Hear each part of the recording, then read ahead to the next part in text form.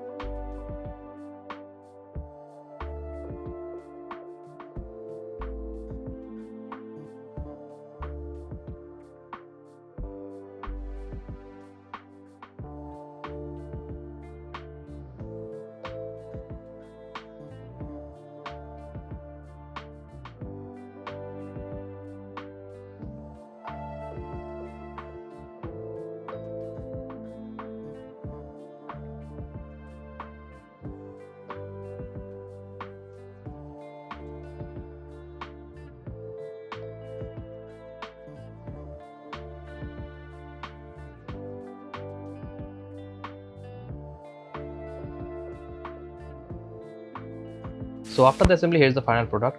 Now let's come to the features. You can adjust the height of the chair with the lever under it and you can tilt the backrest to 180 degrees straight and can adjust both the armrest as far as you need like adjusting up and down or by turning the armrest from left and right and even you can move the armrest from back and front and vice versa. You also get a proper backrest cushion and neck pillow for extra comfort if you use this chair for a longer time. So with the assembly and all the features out of the way, now I finally will provide my long-term review about this MSI MAG CH120 gaming chair. I have been using this gaming chair for the first couple of months and I will say that the chair holds pretty well actually. The cushion is good, it has a proper back support and neck support pillow but there is some still quality issues with a 20k gaming chair. The zips are not properly aligned and might break at some point and the right side armrest height doesn't comes down fully like the left hand side armrest. And there is slightly height difference between both left and right armrest. After 2 months of use, there is a squeaky noise coming under the chair whenever you try to sit on it or rest your back on the chair.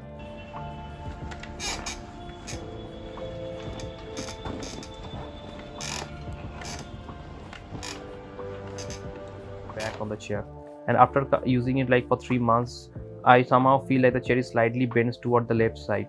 The stitches are well and good and no issues with that so far. I hope you enjoyed our video. If you do, make sure you hit and hit the like button and subscribe to our channel. And if you have any questions, feel free to comment down below and you can also follow our social handles listed over here.